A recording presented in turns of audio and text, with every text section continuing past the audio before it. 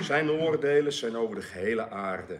Gedenk tot in de eeuwigheid zijn verbond, het woord dat hij ingesteld heeft tot in het duizendste geslacht. Het verbond dat hij met Abraham heeft gemaakt en zijn eed aan Isaac. Welke hij ook aan Jacob heeft gesteld tot een inzetting, aan Israël tot een eeuwig verbond. Zeggende, ik zal u het land Canaan geven, een snoer van één lieder, nee, uw lieder erfdeel. Als gij weinige mensen in getal waart, ja, weinigen en vreemdelingen daarin. En zij wandelden van volk tot volk en van het ene koninkrijk tot een ander volk. En hij liet niemand toe hen te onderdrukken. Ook bestrafte hij koningen om hunnentwil, zeggende, tast mijn gezalfde niet aan en doet mijn profeten geen kwaad. Zingt de Heere, gij ganse aarde, boodschap zijn heil van dag tot dag. Vertelt zijn eer onder de heidenen, zijn wonderwerken onder alle volken. Want de Heere is groot en zeer te prijzen en hij is vreselijk boven alle goden. Want alle goden der volken zijn afgoden, maar de Heere heeft de hemelen gemaakt. Majesteit en heerlijkheid zijn voor zijn aangezicht. Sterkte en vrolijkheid zijn in zijn plaats. Geef de Heere, gij geslachten der volken, geef de Heere eer en sterkte. Geef de Heere de eer zijns naams, brengt offer en komt voor zijn aangezicht. Aanbid de Heere in de heerlijkheid des heiligdoms. Schrikt voor zijn aangezicht, gij gehele aarde. Ook zal de wereld bevestigd worden, dat zij niet bewogen worden. Dat de hemelen zich verblijden en de aarde verheugen zich. En dat men onder de heidenen zeggen, de Heere regeert. Trouw Hemelse Vader, dank u Heer. Dank u Heer dat we uw machtige boek hebben, Heer.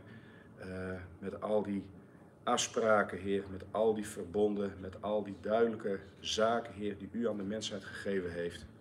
Ik dank u dat we zo vanmiddag in alle vrijmoedigheid ook uh, zo in Leeuwarden mochten straatpreken, mochten getuigen. Dat er zielen waren, Heer, die interesse hadden, Heer, aan uw evangelie. En ook iemand die ter plekke u wilde aannemen als redder en verlosser. En uh, al die losse gesprekken die we hebben gehad, Heer, met zoekende zielen en geredde zielen, Heer, die uh, ja, onder de indruk waren, Heer, van het vrijmoedig getuigen, Heer. En ik blijf ook bidden daarvoor, Heer. Wilt u dat me blijven leiden, dat het allemaal in goede banen mag komen. Mag ik nu eerst bidden om uw zegen voor deze boodschap. Dat bid ik in de naam Jezus Christus. Amen. De Heer heerst over de aarde en heeft een eeuwig verbond met Israël gesloten. He, zo staat in vers 17. Welke hij ook aan Jacob heeft gesteld tot een inzetting aan Israël tot een eeuwig verbond. Is iets wat de hele schrift door te lezen is. Is Israël gehoorzaam, dan mogen ze met de Heer over de aarde heersen. Ga zijn eigen gang, zonde.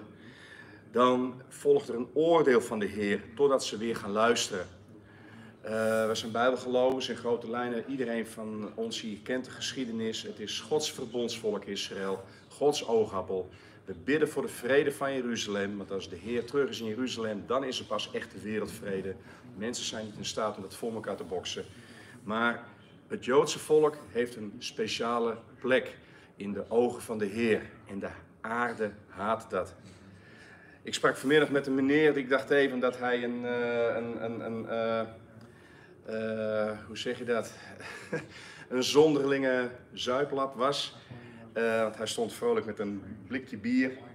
Uh, kwam met zijn getuigenis dat hij in 1994, met de datum noemde hij het erbij, was hij, Peter, tot levend geloof gekomen in Jezus Christus.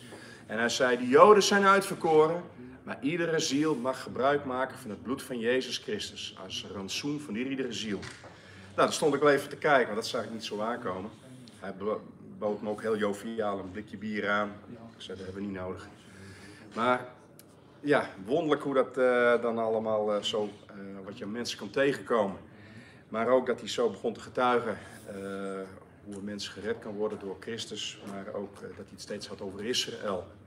Mensen van de oudere generaties, hier in Nederland zeker, hebben vaak nog een speciale band met Israël, met Joodse mensen. Want ik vertel er maar al snel bij, het land Israël nu is ook een land in deze wereld en de gehele wereld ligt in de boze, staat in 1 Johannes 5 vers 19. Dus uh, bidden voor het in stand houden van deze staat heeft weinig zin, want Israël zoekt het nu ook met mensen in de wereld en niet bij de Heer. Dus we weten uiteindelijk dat dat gaat niet goed. Uiteindelijk uh, komt er een grote verdrukking, komt de Heer terug, dan is er een herstel met Israël. Ik kom wel uit een eh, traditie, uit Nederland, waar uh, Nederlanders toch in grote getalen sympathie hadden voor het Joodse volk. Natuurlijk uit schaamte vanwege de Tweede Wereldoorlog, want verhoudingsgewijs zijn nergens zoveel Joden vermoord als notabene in Nederland. Niet in absolute aantallen natuurlijk, want in Oost-Europa heb je het over miljoenen mensen, maar in percentages. Uh, Nederland had iets van 110.000 Joodse inwoners, kwamen 30.000 vluchtelingen uit Duitsland bij, 140.000 Joodse mensen. 105.000 ervan zijn omgekomen. Een klein deel kon onderduiken en een deel heeft uh, de kampen overleefd en de vervolgingen overleefd. En uh, goed, iedereen kan de kennis vernemen, want ik kom nog uit een cultuur waar alles hier is gedocumenteerd, vastgelegd en een aantal delen per jaar krijg je al die documentaires te zien van mensen die dat blijkbaar helemaal ontgaan schijnt te zijn. Maar we leven nu in Nederland anno 2024, waar je veel mensen ziet uit de zoveelste immigratiegolf. Uh, die allemaal uit het Midden-Oosten komen bijvoorbeeld, of Afghanistan, uh, na allerlei revoluties en burgeroorlogen, die uh, hier binnen zijn gekomen en die eigenlijk helemaal niet zoveel medegevoel feinzen. Feinzen zeg ik ook met opzet, want de oudere generaties die hebben wel door dat ze hier moeten meedoen, anders hebben ze een probleem. Met onze democratische bestel, met onze grondwet en onze omgangsnormen. En ook een manier om daarachter te komen is te straatbreken. Want uh, vanmiddag heb ik behoorlijk wat zonderlingen weer gesproken en nog veel meer zonderlingen gezien. Uh, maar wat heel veel indruk op mij maakte, en een aantal van jullie moeten het vast wel eens van mij hebben gehoord. In september vorig jaar waren we aan het straatbreken Groningen. En dan heb je een gebeurtenis, dat is uh, zo'n grote attractie dat toeristen zelfs altijd foto's gaan maken. Uh, verkeer, verkeerd neergezette fietsen worden door stadswachten, uh, mensen met behoud van uitkering en zo, die moeten dan die fietsen steeds in een vrachtauto zetten. En die worden dan depot vervoerd en als je niet op tijd je fiets ophaalt, dan wordt die verkocht op een veiling. Nou, dan zie je allemaal toeristen uit de landen van Europa, die maken daar foto's van, want dat vinden ze toch wel heel apart. Maar er staat een, een man die, die hoort erbij en die begint met mij te praten. En, in keurig Nederlands. Hij zegt, uh, jullie zijn christenen, hè? Ik zeg, ja. ja. Ik ben ook een christen. Oh. Hij zei, ik kom uit Syrië. Ik kom uit dat en dat dorp. Daar, daar spreken ze nog Aramees. Oh ja, dat weet ik. Er is nog een, één stadje, daar spreken ze West-Aramees. En daar kom ik vandaan. En ik ben een, een Syrisch christen. Oh, een, uh, ja, een Syrisch katholiek. Oh. Maar uh, ik zei, je heeft goed Nederlands geleerd. Ja, ja, nee, ja, goed. Hij zei, maar ik heb het eens even nagekeken met jullie. Hè. Jullie staan hier nou een hele tijd. Jullie preken, hebben die banier. Iedereen loopt door. Weet je wat het probleem is hier in het land? Oh, nou meneer. Democratie en Joden. Nou, de, zaterdagmiddag om drie uur zie je dat niet 1 tot 3 aankomen. En ik zei, nou, uh, die Joden zijn hier niet zo'n probleem meneer, want die zijn eigenlijk allemaal vermoord door fascisten en katholieken en noem maar op. En dan schrok je al katholiek. En uh, ik zei, dus die kunnen hier niet zoveel aanrichten als u dat zou denken. En uh, ik zei, als u in uw land die uh, Joodse mensen niet had vervolgd, dan was u waarschijnlijk niet als vluchteling naar hier gekomen. En die democratie is een gave van God. God gaf onze trias politica, staat ook in Jesaja. En daar genieten wij de vruchten van. Ik zei even anders wat. Ik zei, u heeft iets tegen Joodse mensen. En dan ging naar Genesis 12, uh, waar stond, zegen je Abraham, zegent God jou, uh, doe je Abraham kwaad, dan doet de Heer jou kwaad. Ik zei, al dat antisemitisme van jullie daar, en ook vanuit de islam, dat heeft ervoor gezorgd dat het bij jullie een puinzooi is. En ik liet me steeds dingen uit de Bijbel zien. Ik zei, dat bent u niet gewend, hè? Hij zei, nee, want ik kan mijn Bijbel niet lezen. Hij had een Pashita-bijbel in het Oud-Syrisch. Dat is gewoon in liturgie werd het voorgedragen in een, in een samenkomst. Dus of die man nou zich christen noemde. En daarna stond er nog een, uh, een vakgenoot die ook kwam, kwam ook het Syrië. Die was een moslim. Dus ze konden het met elkaar uithouden, want ze wisten aan het einde van hun leven werden ze allemaal geoordeeld door de hogere macht uh, voor een hemel of een hel. Dus zover konden ze het nog wel met elkaar vinden. Maar het, het, ik stond perplex. Want het is me wel eens vaker overkomen in de loop der jaren. Als je met moslims op straat spreekt, dan heb je zeg maar van de tien heb je eentje die zegt van wat vind ik het fijn dat iemand hier uh, getuigenis geeft van God. En als je daar echt over doorpraat, zeg je ja voor ons is jouw Allah en onze God anders. Nou, zij willen, zeggen ze van nee, maar we vinden het toch fijn dat u daar u de moed voor heeft. Maar de negen van de tien zeggen eigenlijk van uh, je moet je kop houden. En als je dan in het defensief gaat kruipen, dan wordt het steeds brutaler en steeds gemener. Dat hebben we ook al eens een keer beleefd. Eh, dat was in Zwolle, eh, dat was afgelopen, eh, niet deze, maar vorige zomer. Dat de twee van de jongens vrolijk zeiden van, eh, eh, moesten, zouden die mensen de kop moeten afsnijden. Nou, daar kun je het mee doen. Maar je moet je kop houden. En dan zeg ik altijd van, nou, onze grondwet mag dit. En als je het daar niet mee eens bent, dan heb je een groot probleem. Je moet niet vergeten, dat boek dat jij aanhangt, maar waarschijnlijk helemaal niet kent en leest, is onder onze grondwet gesteld. Ja, oh ja, oké, oké. Okay. Dan deinzen ze wel af. Deinzen ze wel terug. Maar het is toch een trieste zaak dat je nou in een cultuur leeft waar je na een gebeurtenis als 7 oktober vorig jaar, hè, de, die, die aanslag op Israël de, vanuit Gaza, dat je in één keer in versneld tempo, niet alleen mensen met een moslimachtergrond, maar ook al die Nederlanders die het eigenlijk wel gehad hadden met uh, dat voortrekken van Joodse mensen. En dan komt al dat oude antisemitische venijn weer naar boven. Even, hè, want dat heb ik, ik, ga, ik brand ik hou me niet eens van wat hier allemaal staat. Uh, sinds de Rooms-Katholieke Kerk is begonnen vanaf de 4e eeuw met de vervangingsleer, dus dat Israël helemaal geen verbond heeft met God en helemaal aan de kant is geschoven, uh, zijn er vanaf de middeleeuwen altijd een paar mythes geweest die mensen altijd hebben gebruikt om Joden te vervolgen. Met Pascha, met het Joodse Pasen, ontvoeren ze blanke kinderen voor uh, het, het, bloed, want daar bakken ze hun brood van. En ten tweede, Joden vergiftigen ons water. Dat hebben ze altijd gebruikt voor pogroms. Toen de Tweede Wereldoorlog voorbij was, toen waren, u kent het allemaal wel, u moet het kennen, 6 miljoen Joden zijn niet vermoord in Europa. Toen was de oorlog dus voorbij. En een land als Polen waren 6 miljoen mensen omgekomen, 3 miljoen daarvan waren Jood. En had je een stad die heette Kieltje. Daar uh, was op een zomermiddag in 1947, waar de Poolse bevolking ook helemaal niet hoorde dat er zoveel Joodse mensen waren vermoord. Nee, er waren gewoon allemaal Poolse burgers gevallen in de grote oorlog tegen het fascisme. Pas in de jaren 90 werd er openlijk uitgekomen. Onder het communisme bestond er geen Jodenvervolging. Die kampen, zo zou zoiets, die waren bestemd om mensen te vervolgen. Maar in Kieltje was uh, in de zomer uh, van 47 ging het gerucht dat er een jongen was uh, verdwenen. Een jongen van een jaar of twaalf. Die was waarschijnlijk gekidnapt. Die moest waarschijnlijk wel zijn gekidnapt door Joden. Want dat doen Joden. Want die hebben het bloed nodig voor hun kind, voor hun, voor hun paasfeest. En toen werden er op, op een zondagmiddag, ik, ik geloof 37 Joodse mensen werden doodgeslagen. Nog geen twee jaar na de Tweede Wereldoorlog. Niemand straf voor gekregen. Achteraf bleek dat jongetje was weggelopen van huis, had ruzie met zijn ouders. Die kwam een dag later weer boven water. Dat is echt gebeurd, hè? Op dit moment hoor je elke dag nieuws uit, uh, uit Israël, uit Gaza. Ik ga je niet vertellen dat uh, oorlog allemaal niks meevalt. Oorlog is vreselijk. Uh, dat is een van de beste hobby's die de mens heeft. Daar zijn ze heel goed in geworden.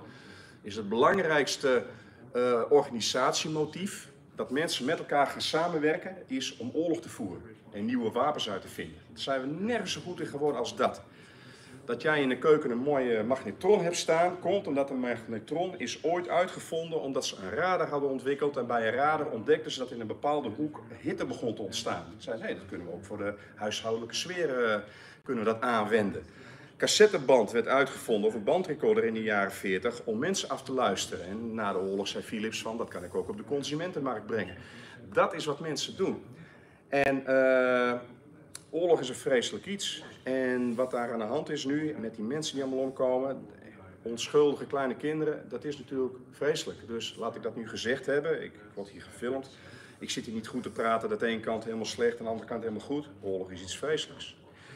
Maar wat mij opviel, en ik was laatst door iemand werd ik daar uh, van op de hoogte gebracht. Hij zei, uh, hey, ik heb je zoals opgevallen, heel veel berichtgeving gaat er over die arme kinderen in Gaza, die notabene door Hamas als levend schild naar voren worden gegooid in de frontlinie.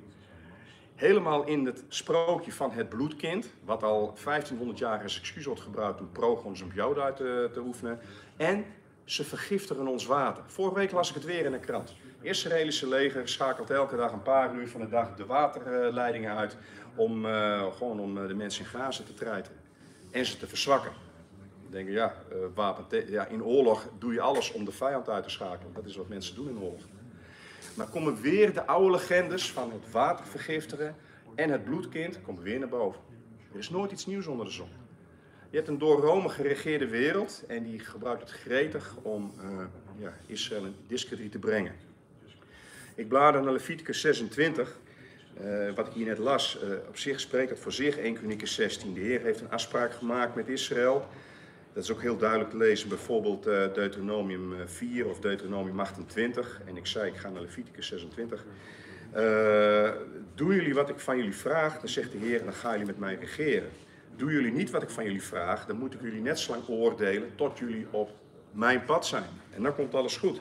Maar ik heb een eeuwig verbond met jullie gesloten en het zal uitkomen. En uh, dat kun je door de hele schrift lezen. En als je dan kijkt in Leviticus 26, en dan lees ik daar een, aantal, een paar versen uit het hele betoog. Uh, het begint bij 26 vers 1. Gij zult jullie geen afgoden maken, nog gesneden beeld, nog opgericht beeld zult gij u stellen, nog gebeelde steen in uw land zetten om daarvoor te buigen, want ik ben de Heer uw God. Etcetera, etcetera. Uh, vers 7. Gij zult uw vijanden vervolgen en zij zullen voor uw aangezicht door het zwaard vallen.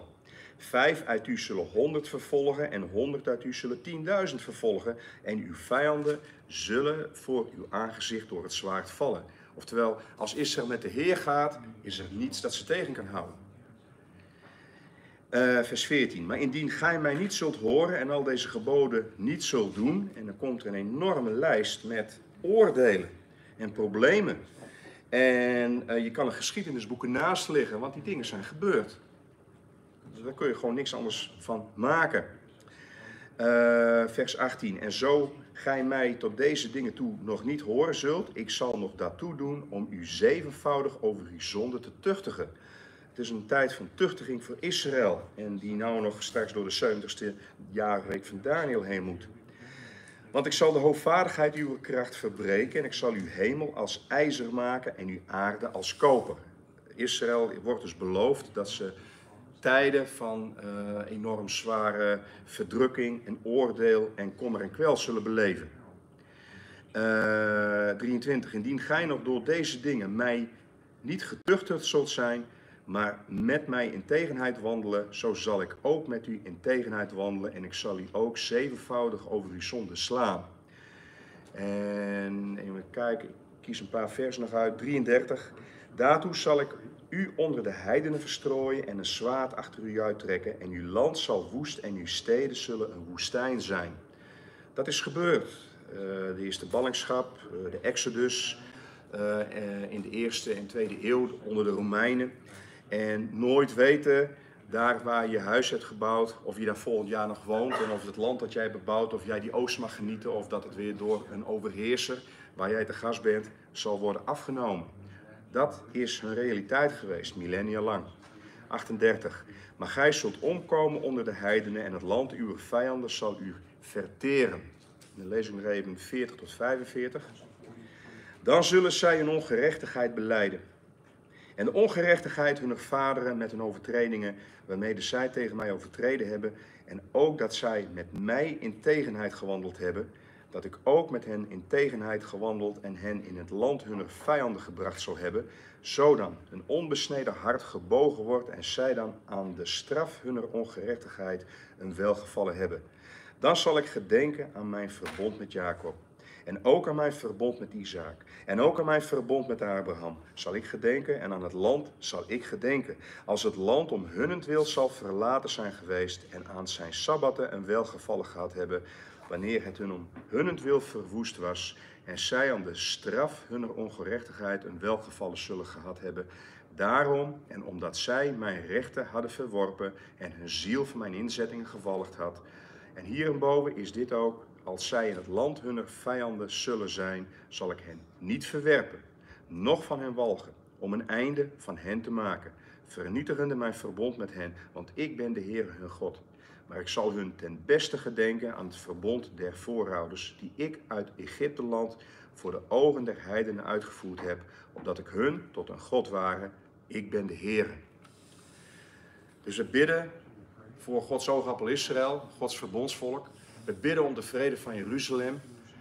En dan moet het wel wonderlijk lijken voor de buitenwacht, kan ik me voorstellen, of christenen die in die vervangingsleer leven, dat dat land, dat volk dat zo speciaal is blijkbaar onder God, dat het zulke grote klappen krijgt. dat, dat is ook moeilijk te vatten. Daarom is het ook een van de zeven geheimenissen. Hè? Heel goed beschreven in Romeinen 11, ik ga het nog niet lezen.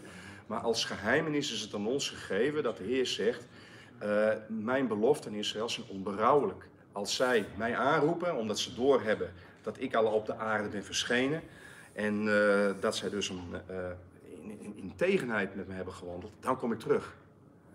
En ik moet zeggen, ik, ik, ik, ik kan er altijd nog blij worden als ik dit soort teksten lees. Want kijk, ik ben op mijn 18 een christen geworden. Maar ik was echt zo'n Israël-fan, ook al voor mijn, voor mijn redding. Ik, ik vond het razend interessant wat daar vroeger allemaal was gebeurd. Hoe die mensen allemaal terugkwamen. Dat land hebben opgebouwd. Uh, de ene oorlog naar de andere won. In, in, onwaarschijnlijke situaties altijd weer wist te winnen. Een democratie was geworden, et cetera, et cetera. Dus mensen zeggen wel, ja, je vindt dat alleen maar Henk omdat jij een christen bent. Nee, ook voordat ik een christen was, dacht ik van, dat is het ene deugdelijke land daar in het hele Midden-Oosten. En dan is het vertroostend om te lezen dat God het verbond heeft staan. Heeft duidelijk uitgelegd waarom het nu gaat zoals het nu gaat. Dat kan soms moeilijk te bevroeden, te, te, te vatten zijn voor ons. Hè? Het, maar God, God kent het hele plaatje, die kent het grote overzicht. En uh, laten we niet vergeten, het is allemaal genade, want de mensheid heeft altijd al uiterste best gedaan om God tegen te werken. De gemeente kan het ook niet vaak genoeg horen. Hè, uh, aan het einde van de genadetijd uh, zegt Paulus al in uh, 2 Timotheus 4, vers 3. Het is deze week ook al gelezen. Ik pak het er even gauw bij, omdat ik het weer niet goed uit mijn hoofd ken. Moet ik dan weer tot mijn treurnis zeggen. 2 Timotheus 4, vers 3. Want er zal een tijd zijn wanneer zij de gezonde leer niet zullen verdragen, maar ketelachtig zijn van gehoor, zullen zij zichzelf leraars opgaderen naar hun eigen begeerlijkheden. Dit zegt Paul naar aanleiding van het voorafgaande waar hij zegt van predik het woord te pas en te onpas. In la, leidzaamheid en uh, langmoedigheid en leer. maar preek het woord. Er komt een tijd dat mensen in de gemeente geen behoefte meer hebben aan prediking. broeder Nico die wees me daar eens een keer op. Hij zei, dit is wel eens opgevallen. Aan het einde van de genadetijd zoekt men leraars die vertellen wat mensen graag horen willen of het moet weer wild en het moet nieuw zijn. Als het maar iets nieuws is. Als het maar raar is. Maar men wil geen prediking. De, de, de doorsnee Nederlandse geredde die nog wel eh, interesse heeft aan het woord van God, die, uh, die zal altijd een bijbelstudie bezoeken. Die zit liever niet zondag in, uh, in een dienst om te worden aangepreekt. En die zie al helemaal niet op een bidstond. Ik, ik, kom zelf uit die traditie. Tot geloof gekomen in 86 op mijn 18e, waar serieuze christenen nooit een bijbelstudie misten. Ook niet van andere groepen. En uh, als dan de collectepot rondging, rondging, dan kon er echt nog wel een gulden in voor die kop koffie. Want zo zijn ze dan ook alweer. Maar men wilde niks missen. Maar ketelachtig van gehoor. Altijd maar luisteren, leren en uh, dingen gewaar worden. Maar prediking, om de, de, de onrechtmatigheid in je eigen christenleven uh, aangepreekt te krijgen en uit je leven te zuiveren, nee, daar, daar, hebben mensen geen trek in. Dat is inderdaad de tijd waarin we nu leven. De kerk leeft al 1500 jaar. Uh, natuurlijk de Rooms-Katholieke Kerk voornamelijk, maar ook veel orthodoxe kerken, Oosterse kerken, ook protestantse kerken leven onder de vervangingsleer. Dus die zeggen dat al die beloften die in de Bijbel staan beschreven, die handelen over God, die met Israël over de aarde zal heersen, dat is niet meer accuraat. Israël is verworpen. Wij zijn voor in de plek gekomen.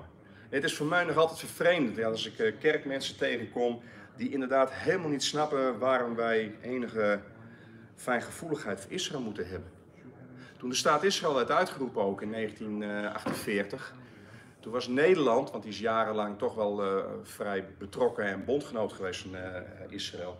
Die was in 1948 helemaal niet zo enthousiast om mee te doen, want Nederland zat in een oorlog met uh, onze kolonie Nederlands-Indië.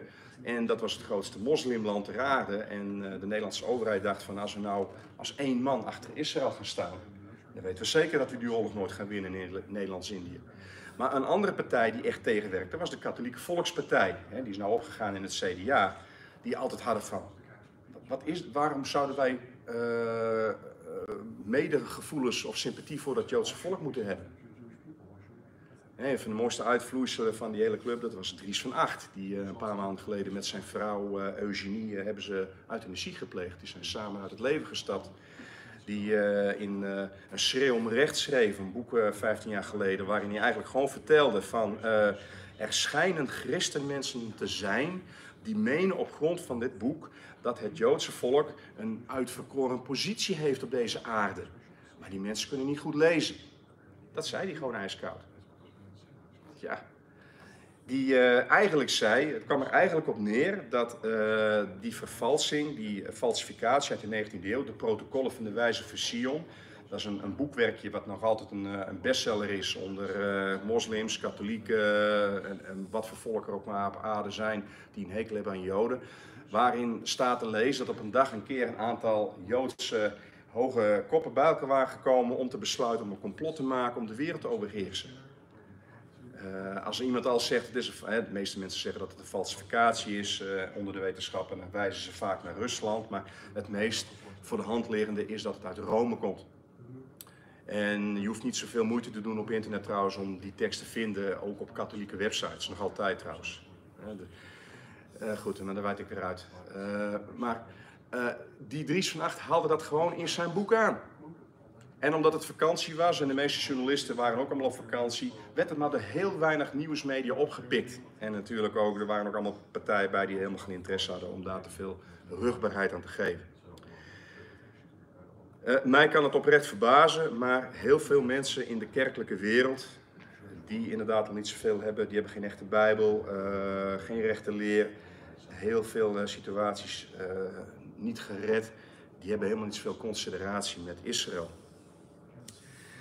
Na 7 oktober vorig jaar uh, uh, heb je ook nog eens een keer, en dat borrelde al jarenlang, ik had er al eens vaker kennis van genomen, maar dan komt uh, helemaal naar voren de Palestijnse bevrijdingstheologie, die een einde wil maken aan het christensionisme. Wij zijn christensionisten.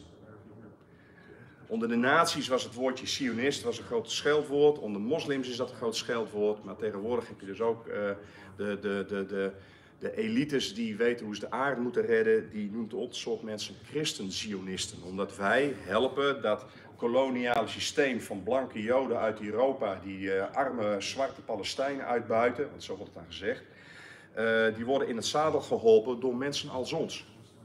Daarom zijn wij gevaarlijk en uh, het deugt niet en zo'n uh, zogenaamde Palestijnse theoloog, ik ben zijn naam niet vergeten, die schreef een leuk stukje van het hele idee dat God een groep mensen zou hebben uitverkoren, die uiteindelijk met hem over de aarde zullen heersen, is niks anders dan een hele primitieve uh, stammentheologie. Dat kan nooit kloppen, want een almachtige God kan nooit een groepje mensen eruit kiezen.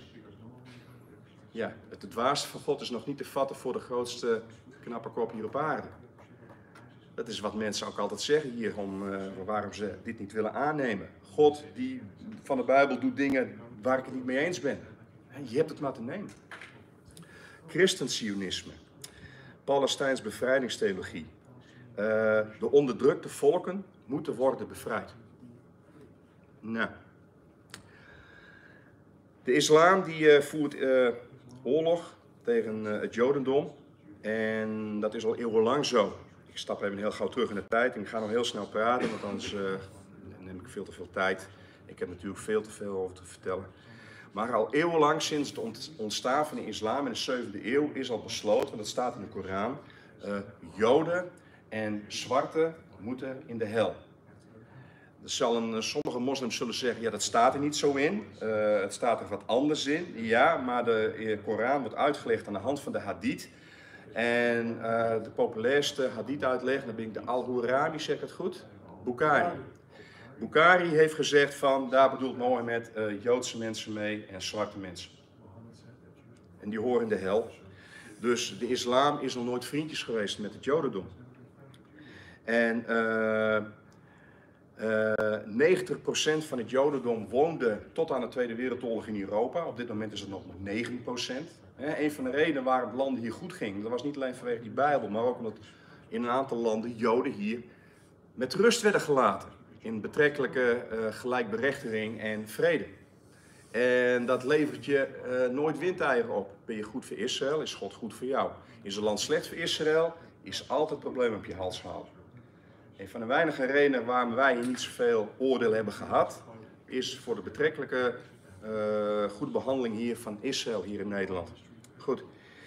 Maar 90% van het Jodendom woonde tot aan de Tweede Wereldoorlog in Europa. En een klein deel in het Midden-Oosten. Van Marokko tot aan India woonden ongeveer 1 miljoen Joden. Uh, zo in de jaren 50 van de vorige eeuw. Oh, een miljoen? Ja, maar een miljoen. Oh, waarom? Nou, omdat het leven niet te harde was voor een Jood. Uh, ik heb prachtige atlassen waar je kunt zien alle pogroms van Joden door alle eeuwen heen. En uh, kom niet aan met het internationale Jodendom die al het geld van de wereld bij elkaar rooft. Want de meeste Joden in al die moslimwaren waren straat, straatarm en nog armer arm. In Syrië of in Egypte of in Marokko of in Algerije kon een Jood zelfs door een puberkind worden vermoord zonder dat daar sanctie op stond. Pogroms in uh, Marokko waar op een dag in 1880 5000 Joodse mensen worden vermoord. Gedocumenteerd, gewoon openlijk in de straten. Een aantal, uh, de meeste van die Joden, die zijn in de 20e eeuw allemaal gevlucht naar Israël. Want dat was de enige plek waar ze welkom waren. En vorig jaar, en het is een paar weken geleden weer herhaald, mocht de, de Israëlische omroep, die is nou ondergebracht bij de EO, die heeft op zondagmiddag een paar documentaires uitgezonden met interviews met die mensen. Hoogbejaarde mensen die nog konden vertellen van, ja ik woonde in Syrië en mijn moeder was een zenuwvrak, want altijd als er een deur werd gemorgeld, dan konden dat moslims zijn. Het leven kon elk moment voorbij wezen. Over een jongetje uit Marokko, die uh, ging met zijn vriendjes naar de bioscoop. Stiekem, want zijn ouders wilden niet dat ze het ghetto uitgingen. Dus ze zaten in de bioscoop, dat mochten Joodse mensen dan toch. En dan zagen ze een bioscoopfilmpje dat de staat Israël was uitgeroepen. En de jongens zien dus de Israëlische vlag met die blauwe Davidster. En ze beginnen te juichen. Toen was hij een jaar of acht, negen. Hij zei, en toen uh, ging het licht aan en toen gingen al die volwassen mensen ons aflopen ranselen. En uh, mijn vader die had gezegd van, je weet toch hoe ze met ons omgaan? Hoe kon je zo dom zijn? Hij zei, toen heb ik besloten om, uh, als ik ouder word en ik heb de kans, dan ga ik hier weg. En hij is op zijn vijftiende, toen uh, is hij uh, weggelopen van huis, aangemonst op een schip en die is naar Israël gegaan, heeft er gewoon staatsburgerschap aangevraagd. Later is zijn hele familie meegekomen. Ik weet wel, want ik ben in die Joodse wijken geweest in Marokko. In Marokko had je ook wel een paar welgestelde Joodse mensen. Er waren honderdduizend in Marokko, ik geloof 250.000. Nou geen één meer, maar enkele honderden. En die huizen zijn allemaal geconfiskeerd door, door de Marokkaanse mensen. Dus, dat is een wonderlijk, hè? Uh, je hebt nou de UNRWA, dat is een uh, UNRWA, een organisatie die Palestijnse vluchtelingen moet helpen. Dat is een, groep mensen die steeds meer wordt bijgecreëerd. Want als jij als Palestijn, dus een bewoner van de Gazastrook of van de Westbank, bent gevlucht, ooit, jaren 40 tot nu, en je komt ergens anders te wonen, dan word je door de VN geholpen. VN helpt vluchtelingen. Oké. Maar voor het Palestijnse uh, geval hebben ze dan de UNRWA in het leven geroepen.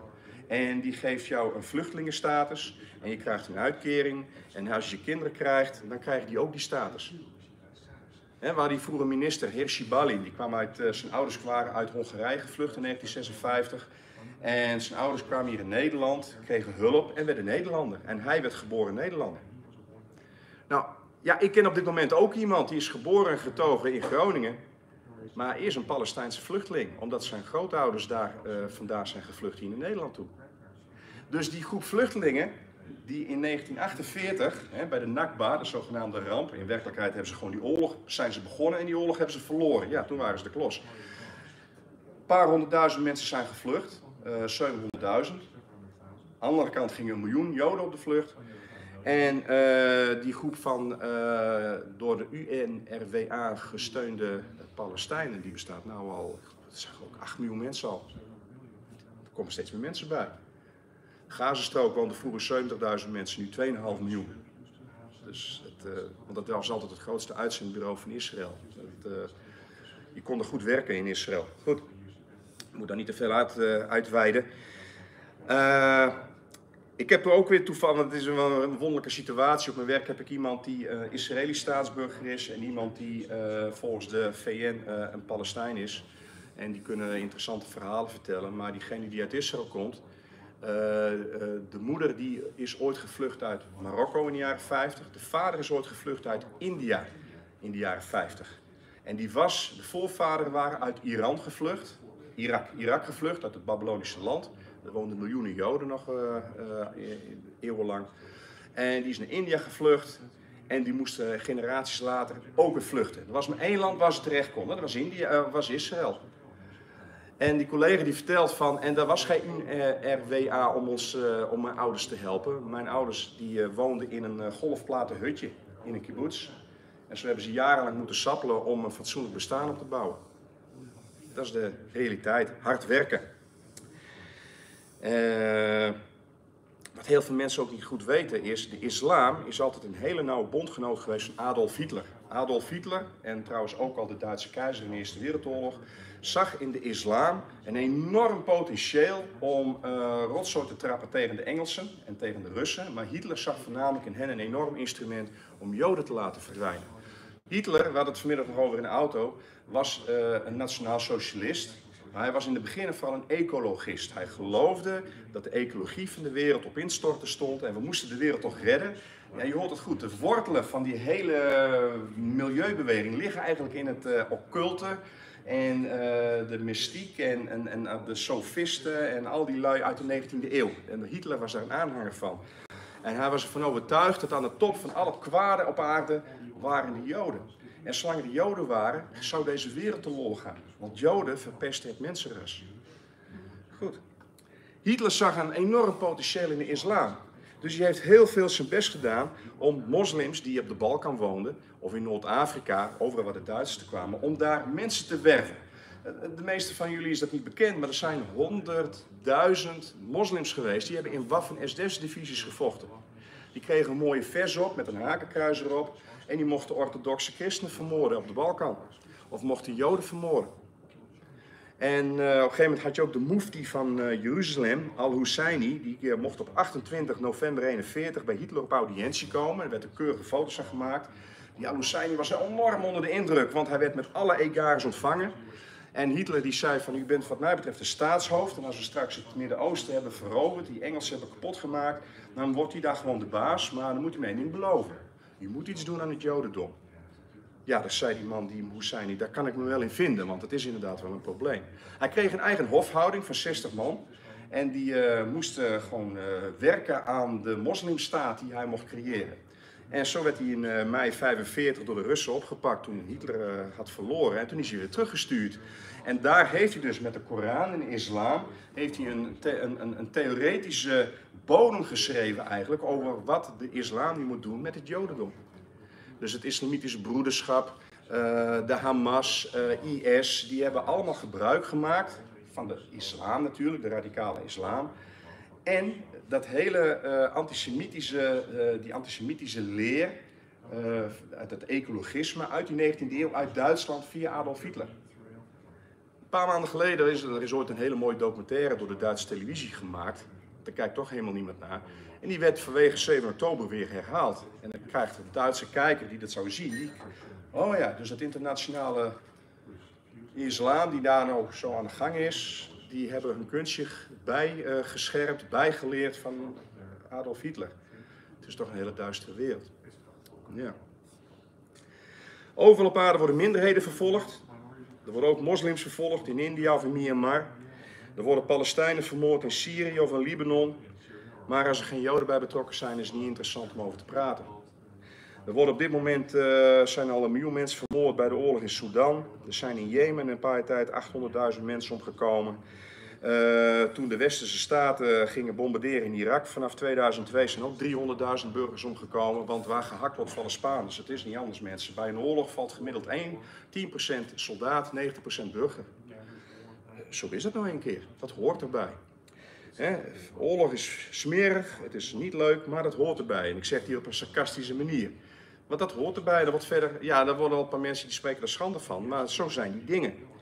Maar als er maar iemand struikelt in Gaza, dan heb je in Israël een probleem. Want mensen zoeken altijd redenen om Israël aan de schandpaal te nagelen. Ja, de, jullie hebben de laatste maanden het allemaal meegekregen als je dat wil volgen. Elke, uh, op een gegeven moment, er staat zo'n stijgende lijn in het dodental. Op een gegeven moment uh, zo van 5.000 naar 10.000, naar 15.000, naar 20.000, naar 25.000, naar 30.000, naar 35.000, naar 40.000. oh, dat moeten we terugnemen, want dat waren ongeverifieerde cijfers en die kloppen helemaal niet. Op dit moment, en kijk, iedere dode in een oorlog is, is natuurlijk gruwelijk. Maar Israël, uh, die collega op mijn werk ook, die heeft gezegd van, die woonde in het noorden van Israël, opgegroeid op een kibbutz. En die wist altijd, als het luchtalarm ging, hadden ze een minuut om in een schuilkelder te zitten. Dat was diegene uh, zijn leven. Dat was de realiteit. Daar zijn ook altijd mensen omgekomen. Want die mensen zijn in oorlog. Hier denken ze van, ja, we moeten die mensen een beetje verdelen en dan komt het wel goed. Nee, er is daar een oorlog om ideologieën. Je hebt daar het verbondsvolk van Israël, het Joodse volk. Die zijn in opstand tegen God, dat weten wij dan. En je hebt die islam en die gunt Israël het bestaand niet. En zo is dat. En ondertussen hoor jij elke dag dat er zoveel mensen worden omgebracht. Uh, dat er zoveel mensen verhongeren, daar word ik altijd wel scherp. Dat vond ik wel wonderlijk. Uh, begin maart werd er gezegd, als er nou niet binnen een paar weken een uh, bestand komt, dan hebben we begin april honderdduizenden hongerdoden. Die zijn nog altijd niet gevallen. Want je roept gewoon iets in die grote propagandaoorlog. Ik zag nog veel stuitender, want ik, ik, kijk regelmatig het 8 uur op Nederland 1. Want dan weet je hoe de wind een beetje bij staat. Dat vind ik leuk. Uh, werd dus ook gezegd over de gruwelijke hongersnood onder kinderen. En dan zie je dus een moeder met een kind op zijn arm. Achteraf kom je er dus ook achter gewaar in het, in het nieuws uit omdat het kind ziek is. En ze zegt van ja, ze bieden haar hier alleen maar blikvoer aan. Dat lust ze niet, dat wil ze niet eten. Dat is toch iets anders dan een hongersnood. En daar zitten dus, de ganse natie zit naar dat soort onzin te kijken. En dan denk je van ja, als je je hart en je verstand op de goede plek hebt, en ongetwijfeld is het de Heilige Geest en de Schrift die daar uh, ruimschoots in helpt, dan moet je toch gaan twijfelen. Ik twijfel wel eens aan mijn verstand als ik dat allemaal zie, hoe mensen dat allemaal maar pikken. En ik heb ook de kampementen wel gezien bij ons in Groningen, waar uh, de protestanten, uh, de protesterende jeugd, met wat voor regenbooginstellingen ook, allemaal voor de moslims waren en tegen die akelige, dat gemene Israël. Eigenlijk komt het allemaal neer op antisemitisme. Goed. Een idee, en dat vertel ik hier even, en dan sluit ik langs mijn hand af, waar mensen niet op stilstaan. Uh, iedereen praat over een twee-staten-oplossing. Dat, dat, dat, ik denk niet, we worden opgenomen voordat er ooit een einde komt. Dit moet allemaal ertoe dienen dat Israël uiteindelijk een verbond moet aangaan met een antichrist om rust te vinden. En dat zal een bedrieger zijn, een bedriegelijke bondgenoot. En dan gaat het helemaal mis. Dan zitten ze echt in de penarie, in de grote verdrukking. Maar die chaos zal nu niet stoppen. Maar iedereen praat over een twee-staten-oplossing. Want uh, mensen die elkaar niet kunnen uitstaan, die elkaar naar het leven staan. En dat komt in de eerste plaats onder die moslims, omdat het ooit, dat gebied wat nu Israël is, is ooit islamitisch geweest. En dan is het dus moslimgrond. En dat, is dus, dat valt onder de Dar al-Islam. Dan is het onder de islam, onder de Sharia-wet en het mag nooit meer worden afgepakt. Landen die nooit islamitisch zijn geweest, die vallen onder het Dar al-Harb het huis van oorlog. Nederland is nu onder Dar al-Harb. Wij zijn een huis van oorlog. De eerste moslims worden, zo zegt de Koran dat. Ik heb de soeras niet bijgezocht en uh, geen tijd. De eerste moslims die worden als boodschapper het land ingestuurd, als afgezant, als ambassadeur van de Koran. Maar hoe meer er komen, hoe meer ze gaan ontregelen. Als een vijfde kolonne gaan ze je maatschappij ontregelen. Kom je een beetje bekend voor? Als je kijkt naar bepaalde wijken in grote steden in Nederland, of uh, de vriendelijke dingen die ze je toewensen als je staat getuige staat. En uiteindelijk komt het moment dat ze kunnen overnemen. Maar Israël is niet onder Dar al-Harb, het is al ooit islamitisch geweest en dat is onacceptabel. Israël mag gewoon niet bestaan. De PLO is opgericht toen uh, de Gazastrook en uh, de Westbank nog van Egypte en Jordanië waren. En de statuten van PLO zeiden duidelijk, wij zijn erop uit om Israël te vernietigen. Er mogen geen Joden bestaan. Dat zegt Hamas ook. Hamas is nog fascistischer dan, uh, dan Hitler-Duitsland. En uh, ja, zo is het mensen. Maar dat komt hier niet uit. Wat ik nog even wil vertellen. In de 20e eeuw zijn hier zoveel mensen in Europa gedeporteerd of verbannen of gerelokaliseerd. Er wonen een half miljard mensen in Europa, maar een kwart van die half miljard mensen hebben opa's en oma's gehad die ergens anders wonen als waar ze nu wonen. Want de hele 20e eeuw door, toen al die grote wereldrijken uit elkaar vielen, had je allemaal nationaliteiten, etnische groepen die elkaar niet konden uitstaan. Oorlog, oorlog, oorlog. Eerste Wereldoorlog, Tweede Wereldoorlog, interbellumoorlogen. Dat heeft uh, een kleine 100 miljoen mensen het leven gekost. Dus wat wisten ze dan te bedenken? Ga al die groepen uit elkaar sorteren en stop ze in hun eigen thuisland. Dus uh, wie van jullie weten, er zijn 22,5 miljoen Duitsstalige mensen naar het westen gestuurd. Er zijn 20 miljoen Polen naar het westen gestuurd. Er zijn 10 miljoen Wit-Russen naar het westen gestuurd. De rest was dood. Er zijn toen allemaal Russen naar het westen gegaan. Want het schoof allemaal lekker door. En dat is de Eerste Wereldoorlog gebeurd, de Tweede Wereldoorlog. En het laatste stukje waar niks werd gedaan, dat was de Balkan. En in de jaren 90 had je immers de Joegoslavië-oorlog. Toen zijn ze weer al die groepen uit elkaar gaan halen.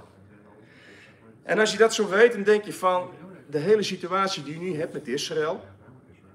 Uh, je had Joodse mensen die hadden de Tweede Wereldoorlog overleefd. Enkele honderdduizenden die wilden daadwerkelijk naar Israël toe. Uh, in Europa heeft niemand nog het recht van spreken om daar iets van te vinden, want hier hebben ze het helemaal verprutst. Joodse mensen zijn hier uh, gedecimeerd. Maar de islamitische wereld had ook geen recht van spreken. Want die had ook zijn best gedaan voor de Tweede Wereldoorlog al om zoveel mogelijk Joodse mensen te vermoorden. Dus eigenlijk wat je toen had moeten doen, geallieerden, was gewoon de Arabische mensen die er woonden, stuur ze maar naar een andere plek. Want ondertussen werden in al die Arabische landen nog eens een miljoen Joden dus weggestuurd, die er helemaal niks mee te maken hadden. Volslagen onschuldige mensen. Nou, wees dan gewoon eerlijk. Geef de Joodse mensen dat gebied en die Arabische mensen de rest van het enorme grote gebied. Net zoals ze in Europa hebben gedaan.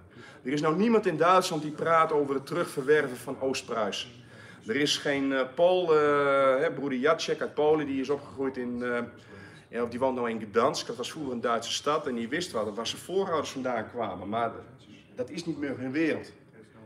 Maar in dit geval praat iedereen over een situatie die nooit uitkomt. Het levert alleen maar bloedvergiet op. Ik hoop dat jullie het nog kunnen volgen, want het is, een hele, het is zo'n gegogel met mensen en toestanden. Het is een hele wonderlijke situatie. De islamitische mensen in dat gebied, laten we ze maar Palestijnen noemen, die hebben vanaf 48 alleen maar oorlog willen voeren. En ze hebben eigenlijk altijd iedere oorlog verloren. Ja, dan kom je in een probleem. De verliezer betaalt. Zo is het altijd geweest. En uh, dat is zoals het is. Iemand zei eens een keer, Israël, wat wil Israël nou? Dat uh, wil zijn gijzelaars bevrijden, maar het is een democratisch land en dat land wil blijven leven. Dan kijk nou eens naar die mensen onder Hamas. Die uh, willen terroristen, moordenaars en uh, criminelen bevrijden. En die gebruiken hun mensen als levensschild om zo als martelaar voor de islam te dienen. Tienduizenden mensen die allemaal nou de types zijn. kinderen, vrouwen, onschuldige mensen, voor zover de meeste volwassenen hebben ooit op Hamas gestemd in 2007. En wij zeiden hier ook altijd van ja, het is heel erg wat Duitsland is overkomen. En met de Tweede Wereldoorlog met Duitsland, dan heb je het niet over de aantallen van nu. Uh, dan heb je het over tientallen miljoenen mensen die zijn omgekomen. Maar dan zeggen we er altijd bij van ja, maar ze hebben ook die oorlog zelf begonnen. En dat kun je eigenlijk ook zeggen van die islamitische wereld. He, dat zijn allemaal dingen waar je naar zit te kijken en dan weet je gewoon, dit kan niks te maken hebben met een, een, een, een groot probleem in de wereld. Dit is een geestelijk iets, dit is een wereld die niet kan accepteren dat Israël daar hoort te wonen en straks over de mensheid mag heersen met de Heer. Dat is het enige streven van de mensheid. Jodendom moet kapot, moet weg.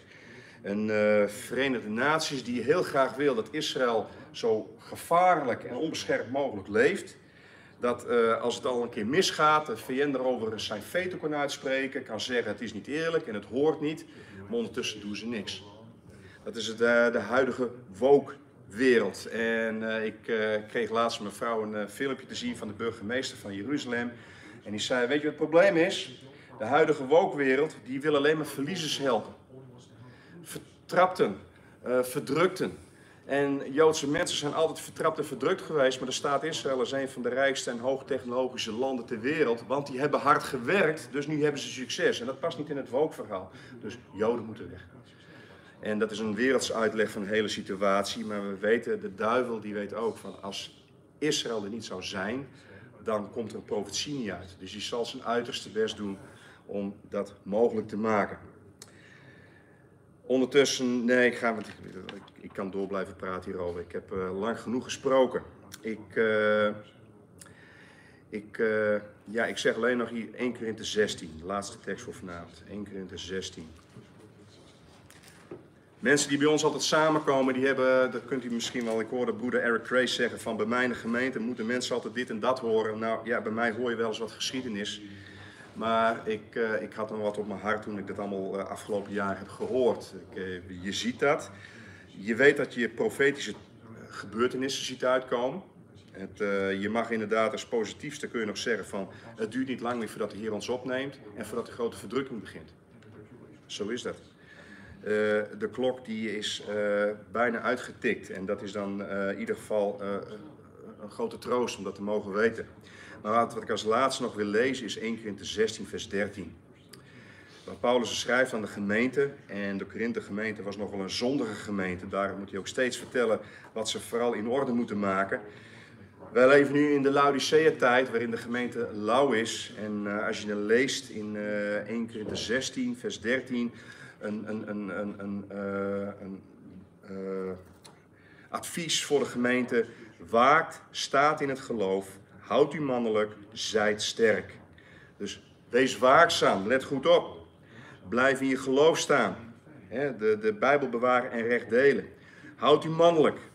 Dus niks te nadelen van zusters, maar geen vrouwelijke geest, maar een, wees een kerel. En accepteer de ellende die eraan komt. Daar moeten we gewoon doorheen, dat hoort erbij. En zijt sterk. En uh, ja, daar hou ik het eens voor. Uh, hou ik het eens bij voor vanavond.